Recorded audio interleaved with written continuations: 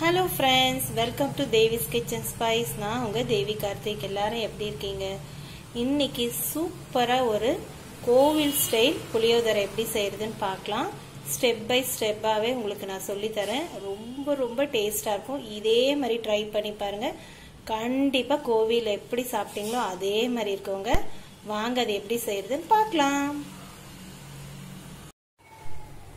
இப்போ நம்ம புளி சாதத்துக்கு முதல் ஸ்டெப்பு ஒரு பொடி அரைக்கணுங்க. இதுதான் அதோட பெரிய டேஸ்ட்டை இன்க்ரீஸ் பண்ணி கொடுக்கக்கூடிய இப்போ இன்க்ரீடியன்ஸு நான் வந்து முழு தனியா அது வந்து ஒரு ரெண்டு ஸ்பூன் எடுத்துருக்கேங்க. உளுந்து வந்து ஒரு ஒன்றரை ஸ்பூன் கடலைப்பருப்பு ஒரு ஒன்றரை ஸ்பூன் ஒரு ஸ்பூன் மிளகு ஒரு முக்கால் ஸ்பூன் ஒரு ஸ்பூன் வச்சுக்கோங்க. ஒரு ஸ்பூன் வந்து சீரகம். இப்போ இதை நல்லா ட்ரை ரோஸ்ட் பண்ணிடுங்க எண்ணெய் எண்ணெய் எதுவுமே வேண்டாம். இந்த பொடியை நீங்கள் செஞ்சு வச்சுக்கோங்க. நம்ம வந்து புளி சாதம் கருவேப்பிலை சாதம் இதெல்லாம் ஆட் பண்ணும்போது ரொம்ப டேஸ்ட்டாக இருக்கும். இதை மாதிரி நீங்கள் செஞ்சு பாருங்கள் அப்படியே கோவிலில் சாப்பிட்ற மாதிரி இருக்கும் டேஸ்ட்டு நல்ல இதமான ஹீட்டில் ரோஸ்ட் பண்ணிக்கோங்க. காரத்துக்கு காஞ்ச மிளகா ஆட் பண்ணிக்கோங்க. இப்போ இது நல்லா ரோஸ்ட் ஆகட்டுங்க அதுக்கப்புறம் அடுத்து என்னென்ன இன்க்ரீடியன்ஸ் ஆட் பண்ணுறதுன்னு சொல்கிறேன் பாருங்க நல்லா இப்போ ரோஸ்ட் ஆயிடுச்சு கடலைப்பருப்பு எல்லாமே இந்த ஸ்டேஜில் ஒரு அரை ஸ்பூன் வெந்தயங்க. லாஸ்ட்டாக போடுங்க. கடுகு வந்து ஒரு அரை ஸ்பூன்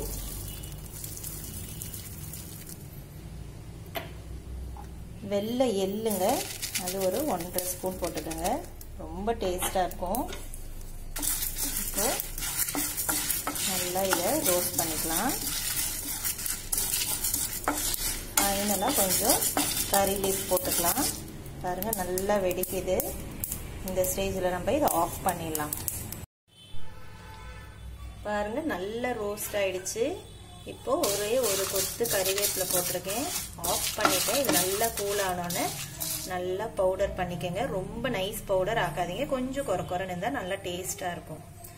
இப்போ நம்ம வாங்க அடுத்து என்ன ஸ்டெப்புன்னு பார்க்கலாம். இப்போ நம்ம புளி காய்ச்சல் ரெடி பண்ணிடலாம். நல்ல ஒரு பேனில் எண்ணெய் விட்டுருக்கேன். நல்லெண்ணெய் விட்டுருக்கேங்க. இப்போது கடுகு போட்டுக்கலாம். எண்ணெய் நல்லா காஞ்சோன்னே கடுகு போட்டுக்கோங்க. உத்தல் பருப்பு கடலை பருப்பு. பெருங்காயம். கொஞ்சம் கருகு காஞ்ச மிளகா உங்கள் காரத்துக்கு தகுந்த மாதிரி போடுங்க. நான் வந்து ஒரு நாலு மிளகாய் போட்டிருக்கேன். நல்லா இந்த புளிச்சாரோட இந்த மிளகாய் ஊறிக்கும் ரொம்ப டேஸ்ட்டாக இருக்கும். புளி சாதம் நல்லா காரசாரமாக இருக்கும். அந்த புளிப்பு காரம் ரொம்ப நல்லா அருமையாக இருக்கும். இப்போது இதுக்கு தேவையான அளவு மஞ்சத்தூள் ஆட் பண்ணிக்கோங்க. இப்போ இதில் புளி கரைச்சி வச்சுருக்கேன். அதை ஆட் பண்ணிக்கலாம். நல்லா திக்காக கரைச்சி வச்சுருக்கேன். இப்போது தேவையான அளவுக்கு கல் உப்பு போட்டுக்கோங்க. சாதம் வந்து நல்லா குழையாமல் அதே சமயத்தில் வெந்து நல்லா பல பலன்னு வடிச்சுக்கோங்க. அப்போ தான் ரொம்ப சுவையாக இருக்கும். இப்போ இது நல்லா சுண்டி வரட்டுங்க. அதுக்கு நம்ம வெயிட் பண்ணலாம். பாருங்கள் நல்லா கொதிக்குது. இந்த ஸ்டேஜில் கொஞ்சமாக வெள்ளங்க சும்மா இவ்வளோதாங்க சேர்க்குறேன் ஒரு அரை கால் ஸ்பூன் இந்த புளிப்பு இந்த காரம் எல்லாமே பேலன்ஸ் பண்ணுறதுக்கு ரொம்ப டேஸ்ட்டாக இருக்கும். உங்களுக்கு விருப்பம் இருந்தால் செய்கிறங்க இல்லைன்னா அவாய்ட் பண்ணிக்கோங்க. ஆனால் டேஸ்ட் வந்து ரொம்ப இன்க்ரீஸ் பண்ணும். சும்மா ஒரு கால் ஸ்பூன் தாங்க போட்டிருக்கோம். இப்போ இது நல்லா சுண்டி வரட்டும். பாருங்கள் ஆற வச்சு அரைச்சாச்சு. இந்த மாதிரி அரைச்சிக்கோங்க. இதுக்கு மேலே நைஸ் அரைச்சிங்கன்னா நல்லா டேஸ்ட்டாக இருக்காது. வாங்க இப்போ நமக்கு புளித்தோக்கு ரெடி ஆகிடுச்சான்னு பார்க்கலாம். பாருங்கள் புளித்தோக்கு எவ்வளோ சூப்பராக எண்ணெய் பிரிஞ்சு நல்லா திக்காயிடுச்சு இந்த ஸ்டேஜில் நம்ம எவ்வளோ பொடி உங்களுக்கு வேணுமோ அந்த அளவுக்கு நீங்கள் ஆட் பண்ணிக்கோங்க.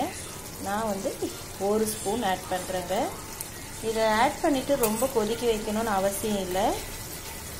ஜஸ்ட்டு ஒரே ஒரு கொதி வந்தால் போதும். நம்ம ஏற்கனவே வறுத்து அரைச்சது தான்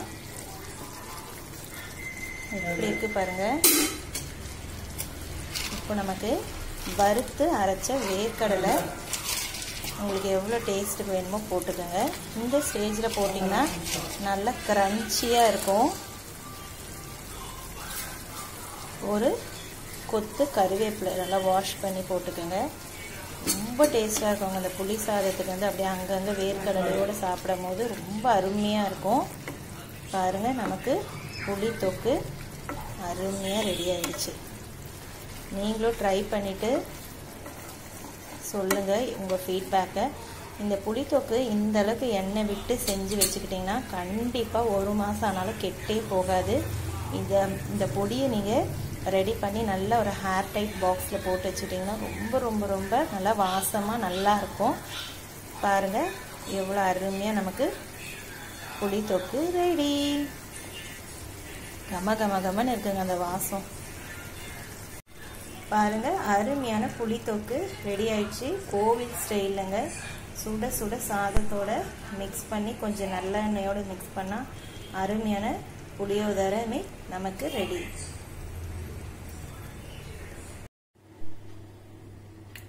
புளியோதரைக்கு புளியோதரை ரெடி ஆயிடுச்சு. ரைஸ் பாருங்க நல்லா இந்த மாதிரி உதிராக வடித்து வச்சுக்கோங்க. இப்போ உங்களுக்கு தேவையான புளி தொக்கை ஆட் பண்ணிக்கலாம். எப்பயுமே கொஞ்சம் நல்லெண்ணியும் ஆட் பண்ணுங்க. ரொம்ப டேஸ்ட்டாக இருக்கும் புளி சாதம். இப்போது நல்ல ஒரு கறி லீஃபும் இப்போ மிக்ஸ் பண்ணிக்கோங்க. தேவையான தொக்கை போட்டு நம்ம நல்லா மிக்ஸ் பண்ணிவிட்டு உங்களுக்கு நான் காட்டுறேன். சூப்பராக நமக்கு புளியோதரை மிக்ஸ் பண்ணியாச்சு. எப்படி இருக்குது பாருங்கள் அவ்வளோ மனமாக இருக்குது நீங்களும் ட்ரை பண்ணி பாருங்கள் கண்டிப்பாக சூப்பராக இருக்கும். வாங்க இப்போ பிளேட்டிங் பண்ணலாம்.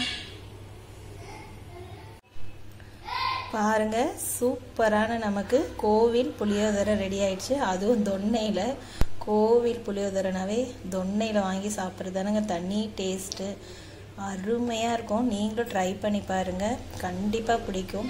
நிறைய பேர் கோயிலுக்கு போகிறதே இந்த புளியோதரை சாப்பிட்றதுக்கு தான். பாருங்க. எத்தனை பேருக்கு புளியோதரை ரொம்ப பிடிக்கும். அதுக்காகவே கோயிலுக்கு போகிறீங்கன்னு சொல்லிட்டு எனக்கு கமெண்ட் செக்ஷனில் கண்டிப்பாக சொல்லணும். இப்போ புரட்டாசி மாதம் கண்டிப்பாக பெருமாளுக்கு உகர்ந்த ஒரு வெரைட்டி ரைஸ் இது. புளியோதரை அவருக்கு ரொம்ப ரொம்ப பிடிக்கும். இது அருமையான ஒரு நெய்வேத்தியத்துக்கு உகர்ந்த உணவு. நீங்கள் ட்ரை பண்ணிட்டு உங்கள் ஃபீட்பேக்கை என்னோட ஷேர் பண்ணுங்கள்